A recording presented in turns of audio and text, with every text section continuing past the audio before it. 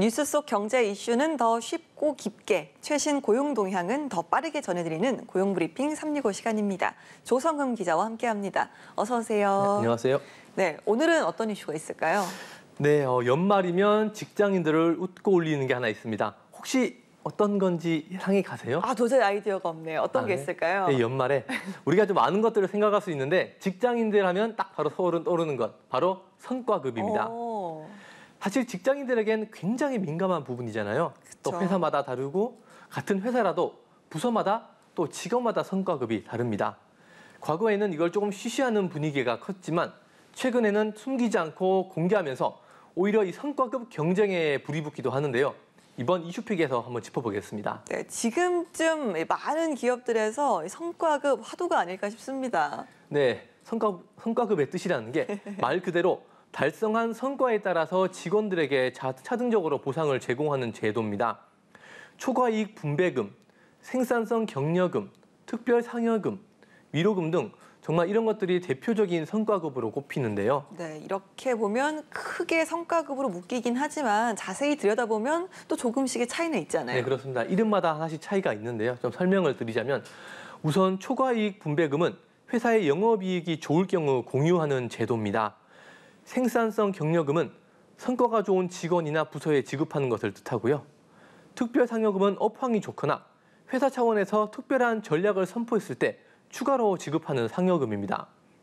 비록 영업 실적이 안 좋아도 경쟁사에 뒤처지지 않는 대우 등을 위해서 지급하는 것은 위로금으로 분류합니다. 네, 이렇게 이름은 다양하지만 일단 받으면 기분이 너무나도 좋다. 이건 누구도 부정할 수 없는 공통점이 아닐까요? 그렇죠. 정말 받는 그 순간은 정말 하늘을 날고 싶을 정도일 텐데요. 네, 네.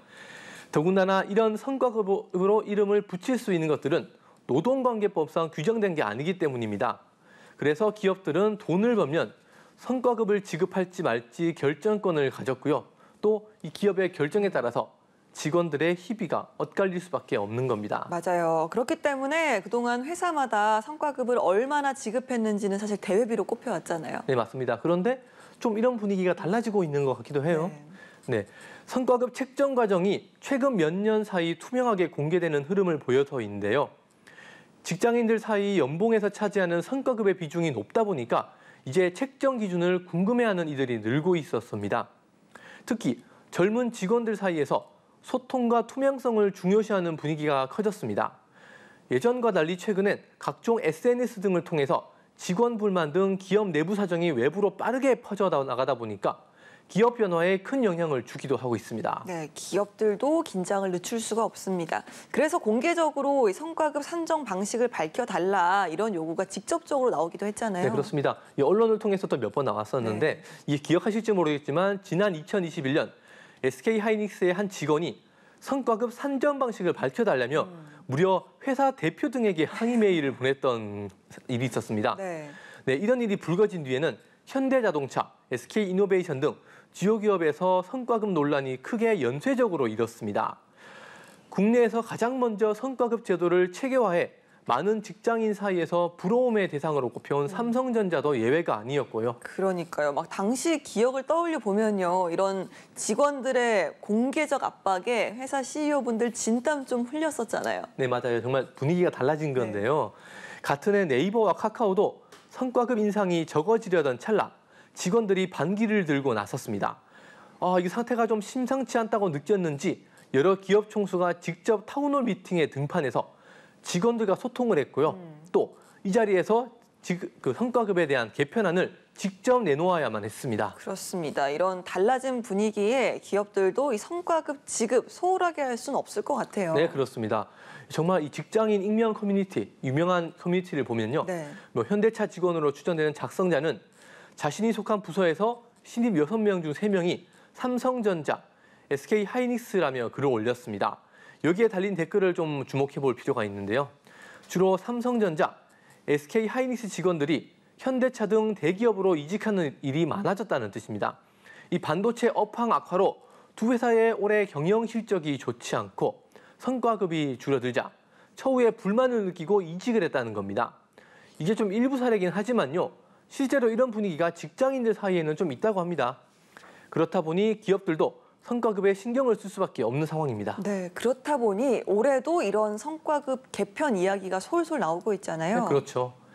직원들이 성과급을 중시하고 날카롭게 보는 만큼 기업들도 성과급의 매출이나 또 영업이익이나 또 이런 주가 상승률 등 경영 지표를 반영하는 움직임을 보이고 있습니다. 실제로 SK 하이닉스의 경우 기존에는 생산량 목표 달성에 더해 영업이익 발생이라는 두 가지 조건이 모두 충족될 때 최대 기본급 100%까지 지급해 왔는데요. 하지만 올해 하반기부턴 생산량 목표 달성 시 영업이익률을 따져 성과급을 차등 지급하기로 노사가 합의한 상황입니다. 어, 그러면 영업 이익률이 마이너스가 되면 못 받게 되는 걸까요? 어, 이게 이제 일정 기준을 충족하면요. 생산성 경력금으로 지급을 하게 됩니다. 즉, 영업이익률이 마이너스 10%라도 생산성 경력금 지급률로 50%를 적용받고 최대 지급률은 150%로 늘리게 되는 거죠. 그렇군요. 자, 다른 기업들의 성과급 개편은 어떻게 진행되고 있습니까? 네, 이 삼성전자 노사 역시 올해 성과급 제도 개편 여부를 최우선 쟁점으로 보고 있습니다. 노조는 성과급 재원 기반을 투명하지 않은 경제적 부가가치, 즉 영업이익 중 법인세 등을 제한한 금액 대신 영업이익으로 변경할 것을 주장하고 있습니다. 한화그룹은 성과급을 주식으로 지급하는 방안을 내부적으로 검토하고 있는 것으로 알려졌고요.